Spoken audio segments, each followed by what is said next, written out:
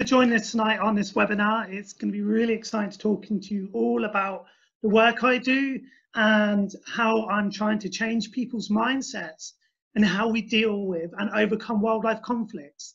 Now, I bet everyone listening and tuning in tonight, we've probably all come across mice in a house, maybe a rat in a garden, or even wasps that annoy us at some point during the year, uh, particularly end of the summer. But you know what? There is ways you can solve these wildlife conflicts without causing any harm. Now, I've been doing this for quite a few years now. And when I first started, people laughed at me. Even my own family members were laughing at me, going, what are you on about? This won't work. It's just not possible. Um, but I had uh, a very, very good mentor, um, a gentleman called John Bryant, who sadly passed away uh, just recently, um, which was devastating to myself.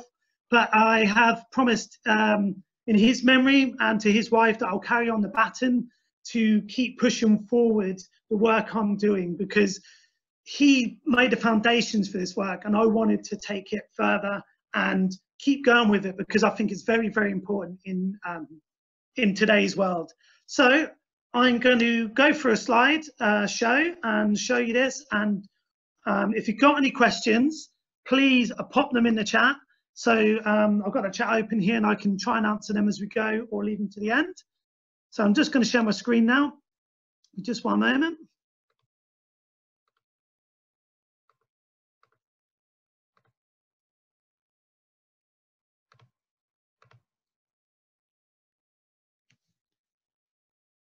Right, okay, so uh, let's get going with this then. So um, thank you to everyone at OneKind for inviting me to do this talk, first of all. Um, they've supported me for many years and also support the amazing work they do. So tonight I'll be talking about overcoming wildlife conflicts, but let's not forget the great work OneKind does also for helping wildlife in Scotland and further afield. So before I start, this is all about helping uh, OneKind get some extra funds for their campaigns and that. COVID-19's hit all of us hard, but if you can donate even just the smallest amount tonight for OneKind, I think there's going to be a donation link somewhere that you can donate via. Please do donate because their work is so vital uh, to wildlife and, and they really are uh, just pushing the boundaries and taking things further forward. So after that, let's crack on with this then. So who are we? Humane Wildlife Solutions was founded by myself, Kevin Newell, in 2012, uh, with the aim to offer people and businesses a non-lethal, ethical alternative to conventional pest control. I'd like to add in there, we're also environmentally friendly. I'm very conscious about the environment, and it's such a big topic right now. Um, you know, with you know rebellion movements going going on all over the country, you know, pushing for better better question of accountability uh, how we treat our environment. And that's something we've done from the get-go. We've always been very conscious about our impact on the environment and animals. So we don't use anything which is harmful in any way or form to the environment or to the animals we work with.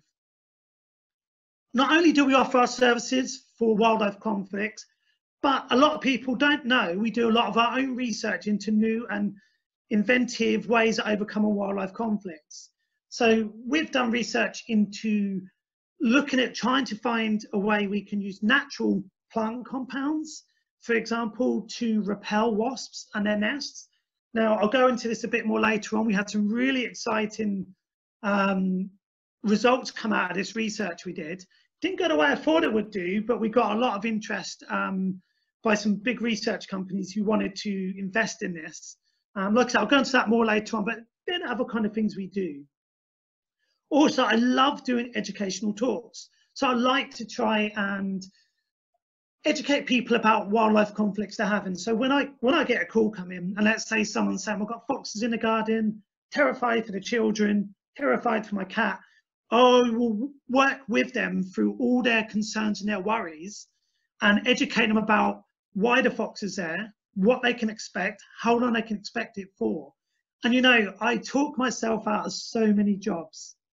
And to me, if I can convince someone that wildlife conflict is not a conflict and, and is an opportunity to appreciate and watch this wildlife that's they're coming into conflict with, um, and I don't get paid for doing that. But if I can achieve that, then to me, that's the best result I can ever hope for.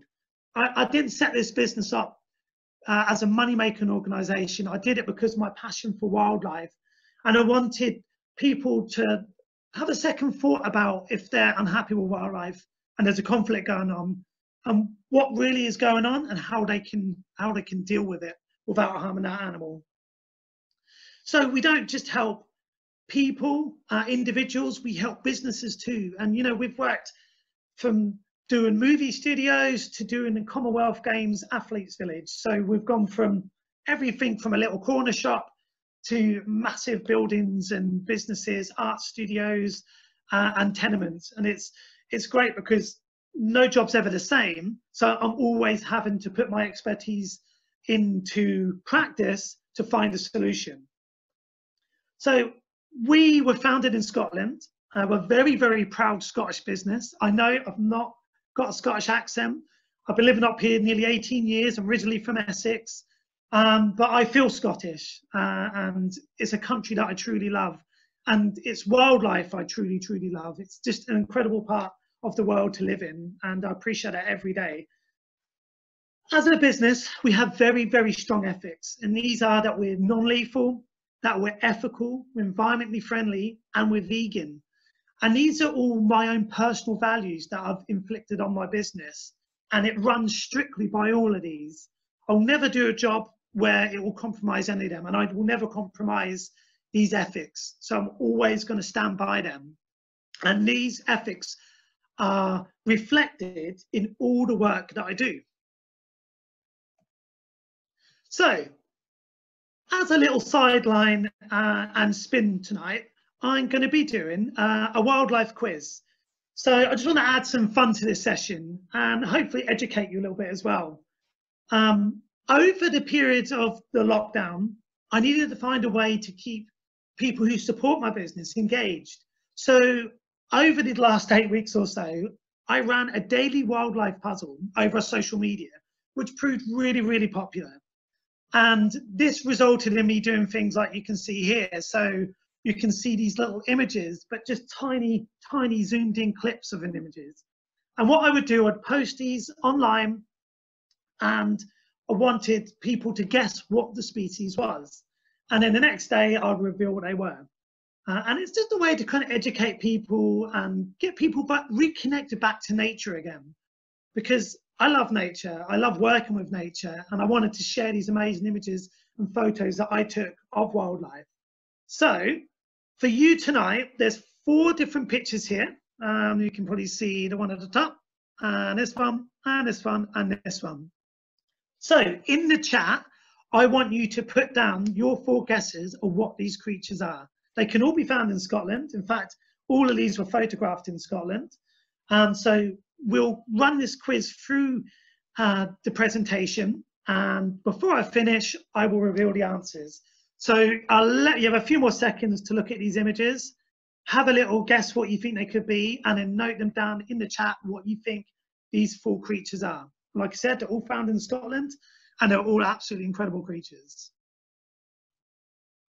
So overcoming wildlife conflicts. Most of us has had wildlife conflicts in our lives. It could be from mice in our home, wasps nesting in our shed, or good old ratty foraging in our gardens. Sadly, the go-to response to most people in these situations is to kill them, but no one ever needs to take this approach. There is a different way, and it's the way that I work all year round and will always continue to promote this kind of work. There are many effective ways to solve these potential conflicts without harm, without poison, and most importantly, without killing. So, how is it done? I'm going to run through a few different examples of how I would work with different species. And just take into mind, every job I do is always very different. I've never had a job in all these years, and I think I've had over 2,000 recorded jobs now um, that I've done across the globe. Uh, and none of them's ever been the same. I never had one which was exactly the same, even if I'm doing a uh, block of four, four flats and they've all got mice and I'm doing all four properties each one of those properties were never the same problem. It's, it's, it's weird, but it's, it, it shows how complex this work I do is and how I'll need to find a solution to each of these problems all the time. So we'll start with wasps. Now, I love wasps. I think they're such an incredible species. I, I love them so dearly. I could watch them all day. Sadly, a lot of people don't give them even one second before they're trying to swat them away if they're getting too close. But they're really, really important species in the ecosystem, not just in your garden, but in our towns and our countryside. They are such amazing little builders and they'll build these incredible colonies. And if you've ever looked inside an old wasp nest, the way I describe it, if anyone's ever watched Lord of the Rings, I think it's the Fellowship, when they all go down into the, the dwarven mines and they've got these massive pillars that's going through their the dwarven halls. It reminds me of a wasp nest because all these pillars are almost to the exact identical opposite to each other. So the way that they're built is like this. So that the queen builds them as the workers, and they fit perfectly for the queen to squeeze through all these different pillars, but they're also there to hold open the nest. Now you can see the picture at the bottom here um, is of a queen wasp and a few new workers and a few nursery uh, wasps. And this was a nest that I, I removed. Now when working with wasps, there's a key thing I need to do, and that is I need to find the queen because without the queen and the workers and the nest and all the larvae, I can't reset them. Now, I don't harm wasps. My aim with any wasp nest or bumblebee nest is to capture the nest and relocate it so it can continue. It can be a tough job, and I've got stung so, so many times. Um, but that's in the first few years. In the last four years, I've not been stung once. And I developed how I worked with them to an extent that I understand their behaviors. And that's just how I do all my jobs. I understand the psychology, the behavior, the traits, what the species like, what they don't like. And I, I use that so I can work with them better. So with wasps, I've got to the stage now I can pick a whole nest up with all the wasps in, put it in a sealed container, take it away and reset it again, usually without a single wasp leaving that nest. Now, I'm not going to give away all my trade secrets here, um, but it's something that I've I've learned by studying these animals, and it just I love them. So if you don't like wasps, um, Chris Packham did a really really uh, good piece on BBC Springwatch. I'd recommend watching that. It's on their Facebook channel, and uh, I love how much he loves those wasps, and he really makes people think differently about them in that video. And just remember, if, if you've got a garden and you're a keen gardener, wasps are your friends they will take all those pests that you don't want there. You may not enjoy them so much because you're worried they're going to sting you, but if you're not harming them, they're just going to continue normally. So another species that I work with a lot is mice. Now, mice get in a lot of buildings into very, very small gaps. They can squeeze through a gap probably about the end of a pen. You know, they don't need much to, to squeeze themselves through. So working with mice, you need to understand what's bringing them in, how they're getting in, and when they're in the property, where they're going. So with all my jobs, I if I go to a property, be it a commercial or someone's house, I do what I call my CSI investigation. It literally is a fingertip search of the entire property. Because before I can try and do any proofing or preventative measures, I need to understand what the animal's doing. So I want to know how's the mouse getting in? What food is he after? What food is he like? Where is he going? Where's his little places he likes to hide? Is it under a sofa, behind a fridge? I need to understand all this. And then I need to find a way to stop him coming back into that property. So, for example, I did a commercial premises in a massive shopping mall in Glasgow. They had a mouse problem for six years before I came on the scene. And every one of their neighbours in the shopping mall also had a mouse problem. So we were called out to see if we could solve it. Uh, it took me one visit to solve the problem. I did one visit and I done my CSI investigation. I went from top to bottom and I found their entry point. It was simple as finding this key entry point and sealing it up.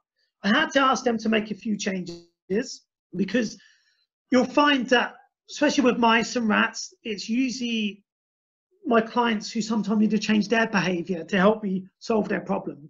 But in this case, it was mainly finding their entry point.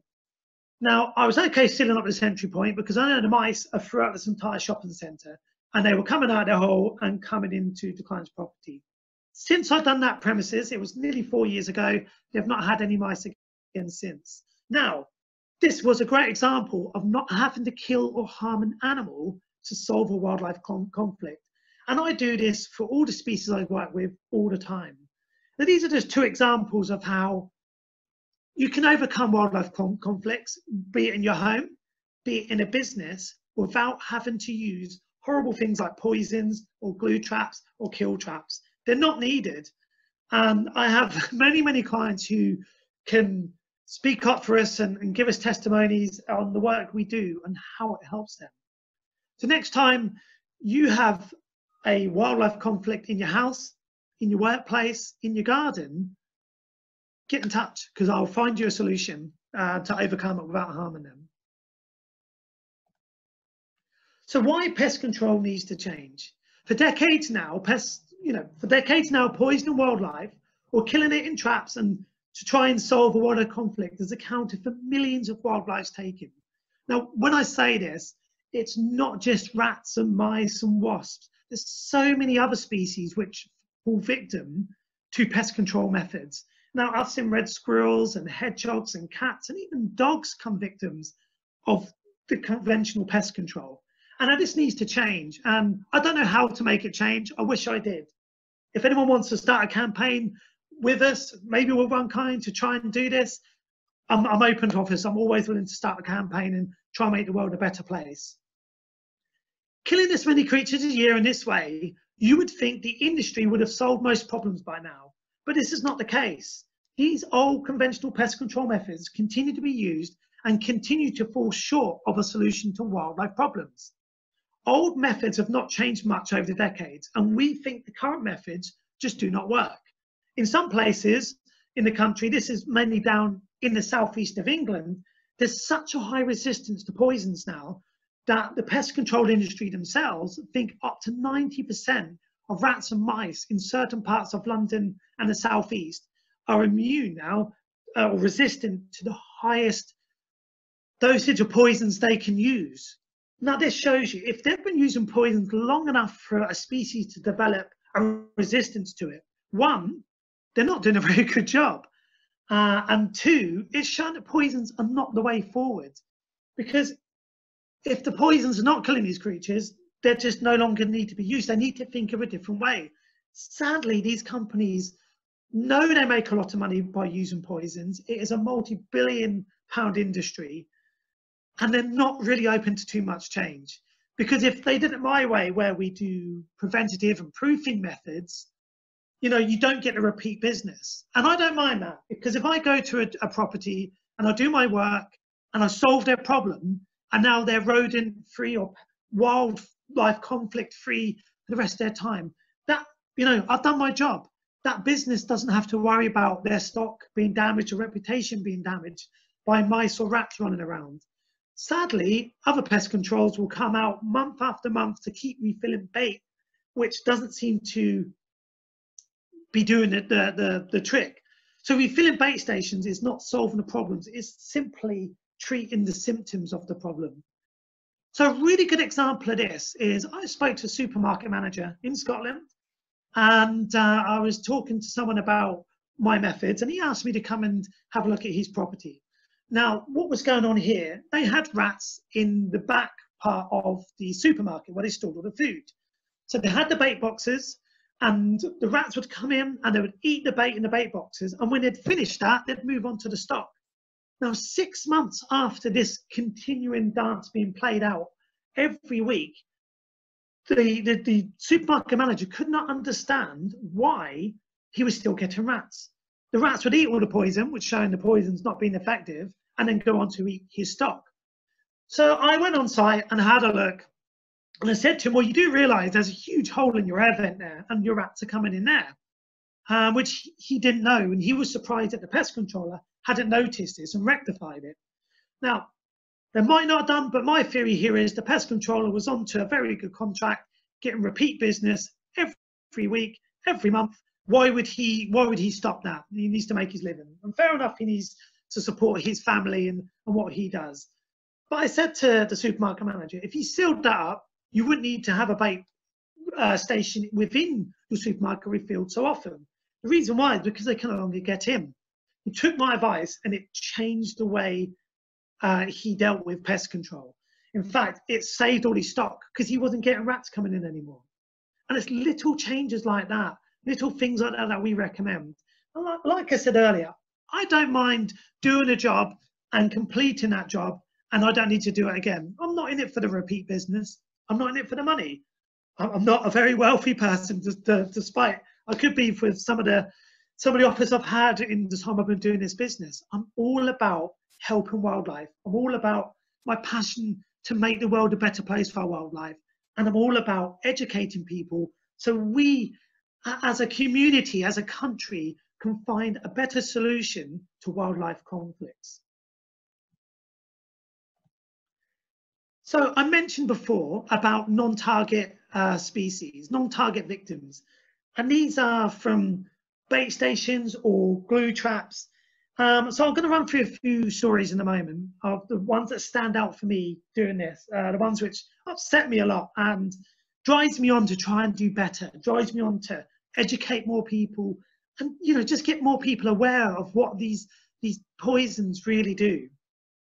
It's not only the intended victims of pest control that die. Sadly, many non-target species are killed, be it directly or indirectly. Now, shrews and voles. Now, when you get outside bait stations, shrews and voles will often go into these and eat the poison too.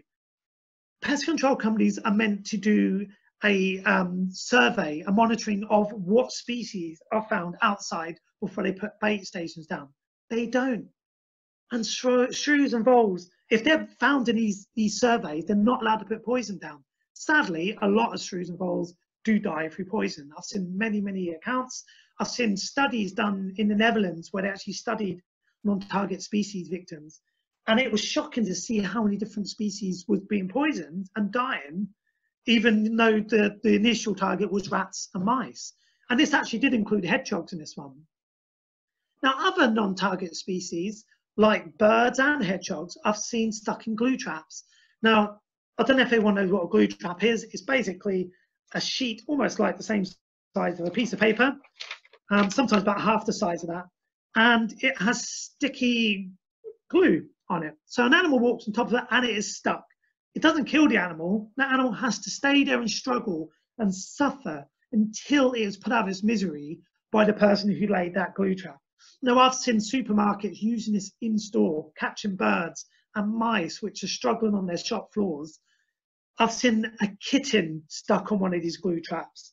Um, and, you know, I've seen birds and even a hedgehog in the study that I saw in the Netherlands. There was a hedgehog stuck on the glue trap. And it, these are horrific things. And it's something that we're looking at, maybe trying to start again a campaign to try and get Scotland as a country, because we seem to be very progressive when it comes to wildlife, to maybe try and ban the sale of glue traps because I hate them. Uh, there's no excuse for using them. And I've actually changed suppliers a couple of times because I found out they were stocking them. Uh, I had a big argument in Edinburgh once with one of my suppliers in his shop because he was selling them and he was happy to show me his new um, stock that it was and it was his glue traps. And thank goodness he actually stopped because I made such a fuss. And it, maybe a small victory. You might put them back up again. I don't know. Um, moving on. So cats and dogs. You know, the kitten that was stuck on the glue trap in the Scottish borders was one I found really distressing. As a fluffy little kitten um, who belonged to a family living next to a farm, and he got stuck on the glue trap. Now this was horrific. Uh, but you know, nothing was done of it. No, no prosecution or anyone was told that they shouldn't be doing this, and it continued. And they're, they're allowed to put them down. There's no monitoring system or way people can check or any controls to put in place to safeguard cats. And the last one, uh, last two, sorry, dogs and birds of prey. Well, dogs, I've, I've heard from people working in vets, dogs eating uh, poison bait, which has not been put out correctly. I've also heard of dogs eating and catching rats that they've caught which have been poisoned. Now, this is very common, uh, more common than I would like to um, actually have to say, and, and, and says it goes on. And it's a really sad, really, really sad part of the pest control industry, which I don't think gets enough attention. The first story I heard of birds of prey dying through secondary poisoning um, was a case down in England, and this uh, client of mine had barn owls which visited their garden, and they had rats which lived in their garden. Now, this client's neighbour had poisoned the rats, and the rats were dying on the lawn. Uh, they, you know, when they're suffering and dying, they kind of forget about everything they a rat would do, stay in the cover and keep out of the way. So these rats are running across fields. They were trembling and dying, and these barn owls were swooping in and picking these rats off, and they were going back to feed their three chicks in the nest. Sadly, all three chicks died within a week of the poison being down, and both the adults died in the coming weeks afterwards. Uh, and we believe it was due to them eating the poison rats and ingesting the poison. Now, I know the Barn Owl Trust um, are very aware of this and they campaign against rodenticide use. Uh, but sadly, you know, th these are just the cases that we know about where birds of prey are dying, or the ones we know about where cats and dogs are, are falling ill due to, to poisoning. And these are the hidden victims of the pest control industry. And, and I just wish we could find a way to get some really good scientific data that we could put forward. So I think if we had a study, if we had data that we could put forward to the Scottish government or even to the UK government and go, look, poisoning has to stop because these thousands of different species, non-target species are dying. Now's time for change. I'm hoping this day will come, um, but we'll, we'll have to wait and see. Right, moving on. So how we help animals. So Humane Wildlife Solutions, we're very, very proud of our revolutionary approach to wildlife conflicts. Like I say, we'll never harm an, an animal we work with. Our non-lethal service not only solves problems about harm wildlife, but it also educates people along the way that there are alternatives and killing is no longer needed. So a really good example here, I, I lose so much work because I will passionately describe to people the problem they're having. Um, and one of the things I like to do when I talk myself out of work, which a lot of people are going, well, that's a bit silly. You know, you've got to make a living. I do, but me making a living is not more important than an animal continue to be able to live. So educating people about the wildlife conflict they're seeing, and, and once they understand it, they're usually okay with it. And this can be from foxes in their garden, um, from rats living in the garden. You know, rats are part of our ecosystem. They do live in our gardens. They live around our houses.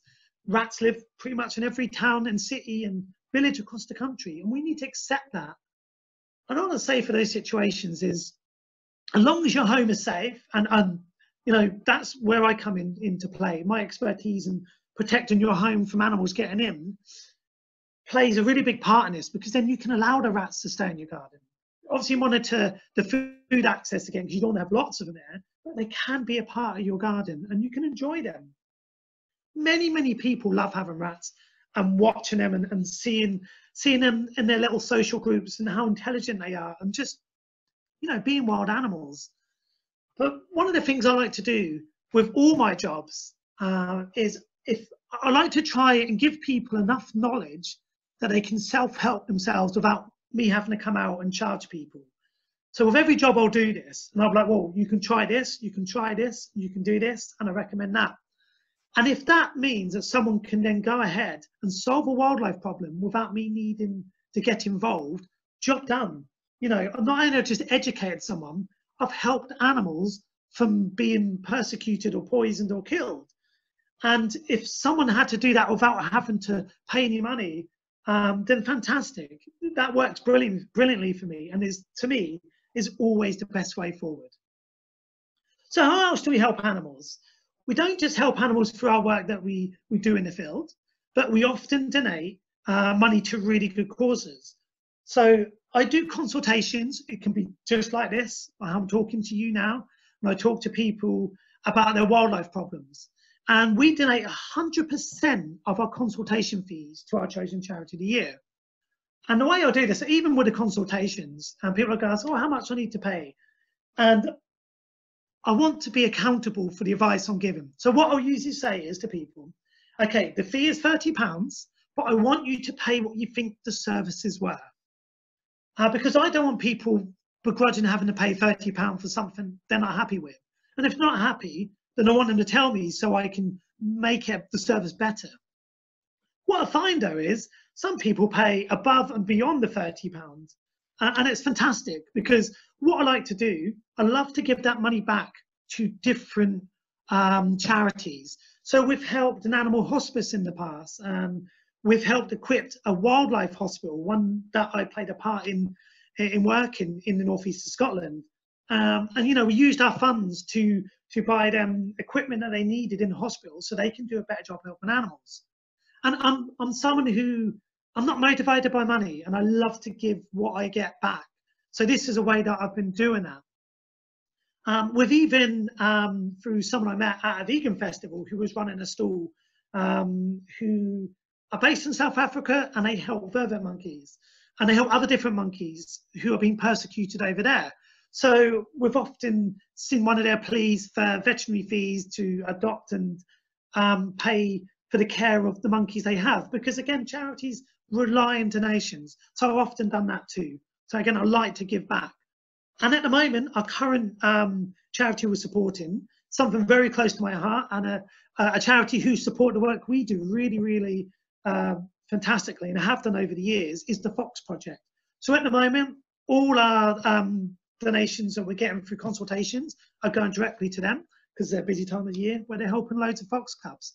And as you can see, got fox here and a fox on the wall. I love foxes, my most favourite animal. Um, so if I can help other animals, even without me actually doing any work, to me, that is just fantastic. So it doesn't stop there. As well as this, I love doing research and trying to find new innovative ways of helping wildlife. So uh, changing the way that pest control are doing things at the moment, and then looking at it, assessing it, breaking it down and thinking, hang on a minute, if we did this, they wouldn't need to kill animals one of my uh, research projects I've done has been into moles. Now, I think moles are one of the most abundant mammal species in the UK. There is tens of millions of them. And you probably think, well, I've never seen a mole. I don't see many either, but apparently according to the records, there are tens of millions of moles in the country. So I wanted to find a way how we could stop moles. I tried live trapping, it doesn't work. I won't use kill trapping. I think it's cruel. So studying moles and read, reading research papers, reading as many books as I could get all about moles, I started to find ways of how far down they will go, you know, what kind of soils they like, when they're most active, um, times a day, funny enough, because moles like to be active in four hours periods from activity to sleep, activity to sleep. So I found a way, and we're trialing these at the moment. I've got a couple of clients who need help with moles at this moment and we're trialing this new idea that we can mole proof an area, not just mole proof, but we can actually slowly edge moles out of an area where they're causing troubles. Now, it's not an instant solution. Sometimes wildlife conflicts are not just a click of a finger, job done. But I really do think um, the mole research I've done is a way forward for moles. And we've done wasp research too. Um, and this WASP research has seen us come up with a plant-based spray, which I thought was going to repel them from a nest. In fact, it turned out that this spray actually masked the pheromones they release to swarm, so they no longer swarmed. Uh, I took this research after someone heard about it to a big research company who offered me in the region of two and a half million pounds to develop it further. However, I had to turn them down because the research would involve extensive animal testing and it goes against everything I stand for uh, as a person and as a business. So I had to turn them down uh, and it was a hard decision to do uh, because this could have been a game changer for WASPs and it still could be. Uh, now we're working with some universities, seeing if we can take it further. Um, so these are kind of other things we do. So it's not all about me being in someone's house and stopping the mice getting in you know, we support other wildlife organisations and also looking at how I can develop the way we work with wildlife on every aspect with every every species. So the services that we provide to, to individuals and businesses have been everything from art centres, high street retailers, movie studios, and that's a good story. I'll just tell this really quickly. I did a movie studio where they were filming and the director would go and cut and he would go mouse man go and I'll do my work and he'll go mouse man cut and I'd have to stop my work, and then he would go action and carry on the filming. So between the takes of them doing the filming, I would do my work around the, the set and this massive movie warehouse and in this studio, and it was a it was a fun job to do. Um, I've done jobs in restaurants, even the Glasgow Commonwealth Games. I worked at the Athletes uh, Village uh, with foxes, and that was an incredible uh, job to do. Now, I've done, you know, we do remote consultations, on site assessments, exclusion, proofing, relocation. Now, the relocation just mainly applies to wasps and bees um, because they're the ones that we focus mainly on the relocation. With other work, um, we find we don't need to relocate many animals. I also do educational talks and a, a service that I never talk about is our cat service. I found a way, again, using completely plant-based materials, how to stop cats fouling and digging and chasing off your birds in your garden. So if you know, if you want to get in touch, you can ask questions about that service too. So I'll move on. So different species we cover. So here is just a few. So we cover rodents, birds, moles, insects, foxes, cats, and squirrels. But I'll tell you what, I add the breakdown of all the different jobs I've done. I have helped with over 59 different species of animals. And this is from badgers to cockroaches, cats to feral goats, moles to pine martens, possums, raccoons, and the best one all was had to be the wolves. So I had to help someone in Canada solve their wolf problem. It's completely bizarre, but it was absolutely incredible to do. And you know, with this work, I don't just work with such amazing species, but I've worked in over, you know, I've worked helping people in over 18 different countries, from the United States to the Netherlands, Australia, Canada, the mountains in Nepal, Greece, and South Africa. So there is a, such a big need for the work I'm doing, and it's so widespread. We've, we've gone international recently. You know, we've covered five different continents in the in the planet now, um, which I think is quite incredible. Um, so we'll, we'll keep it going. So, enough going on. If, you didn't catch the wildlife quiz earlier, here is a reminder. This is your last chance to guess. Can you tell me what these four amazing creatures are? So I'm going to give you 10 seconds and then I'm going to reveal the answers. So if you can put your answers in the chat and we can see who got it right. So all these four species were photographed by myself in Scotland. And in fact, the little uh, orange haired dude in the bottom was actually the friend I was working at the Commonwealth Games with. And uh, we shared we shared some uh, lunch together, which I shouldn't have done, uh, but he was very, very nice. Okay, so here we go. I'm now going to reveal the answers. So here we go. So um, the top of the screen is a fox cub. Um, below that is a species which I absolutely love is a wasp. And then uh, this little moth, I'm really into my uh, moth recording lately. It's a new passion I found.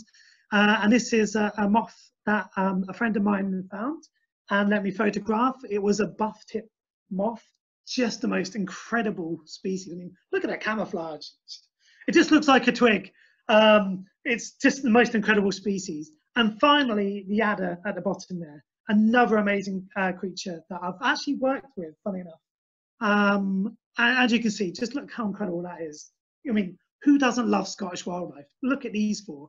This is four of just thousands of incredible species. So this is me about to wrap up now. I want to say congratulations to OneKind.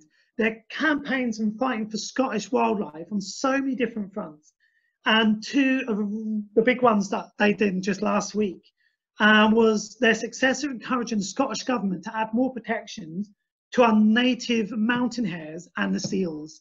Now, I was dancing around this room here celebrating these successes uh, because the work OneKind does is just fantastic. I mean, seal shooting to be banned in Scotland and, you know, mass culling of mountain hares to be stopped. I know there's still work to be done on, on the mountain hare issue, um, where they'll probably have to kill them on the license. But what OneKind done here is incredible. Now, I don't know about you, but I think that kind of work that OneKind do needs supporting. So support OneKind. With all the fantastic success OneKind is having helping our wildlife, please let us, and that's me included as well as you, do our bit by supporting their campaigns. And you know, you can do this by sharing their posts on their social media, by attending their events, signing the petitions, contacting your MPs when they say we need your help to contact them. You know, it takes just a few minutes to do, and it has such huge ramifications because we're progressing forward with Scottish wildlife and one kind of driving this forward with other organisations too. And also help their campaigns and their investigations and donate to them where you can. I'm going to donate £50 um, to OneKind as a thank you for allowing me to be on this uh, OneKind Fest um, to help with their, their campaigns. So if you can donate a little bit to help them too, please do, even the smallest amount. You know, three pounds is what someone will go out and spend on a coffee. Though not many of us are going out getting coffees at the moment because most of the shops are still shut, but you get the gist of it. So, you know, we can together, all of you, OneKind, ourselves, if we all come together united, we can make this country a better place for our wildlife. We've got a long way to go, but I really truly believe if we work together, we can make it. Uh, we, we, we can make it a better place, uh, make this fantastic country even better for the fantastic wildlife we get to enjoy and see. If you don't want to start, uh, if you don't want to donate, start your own fundraiser. If you want to go and do the kilt walk or you want to do something else which help raise money, get your family and friends, your schools, your work colleagues involved. You know, every little bit counts. So please do your bit to help their fantastic work. So just a quick summary. If you have wildlife conflicts, remember, there is a kinder, more compassionate way of solving it. And get in touch. I'm always available. I mean, sometimes it can take me a few days, maybe a week or so to reply, but I will reply because every email, every message, every voicemail, every tweet is important because if it involves helping an ant, a bee, a fox, a badger, I will be there to answer that to try and help that animal. Because if no matter what they're, whether they're they're fleas or whether they're birds, the foxes, the badgers, they all deserve to have a compassionate way and deserve to go and live in their lives. Um, so I would always try and answer those calls. Don't get frustrated if I don't get you uh, uh, straight away. I can go for a day and end up with nearly 20 voicemails and 30 messages and 40 emails, and it's just me running this. So I always do my best to try and get through these. So what you do, if you, you know, you want to help wildlife, share our posts, tell your friends and your family and your work colleagues and workplaces, you know, there is a better way. When you go to your work, ask them what they do for pest control and ask them why they chose a conventional lethal way because there's a non-lethal way and tell them about Humane Wildlife Solutions. Get them to get in contact.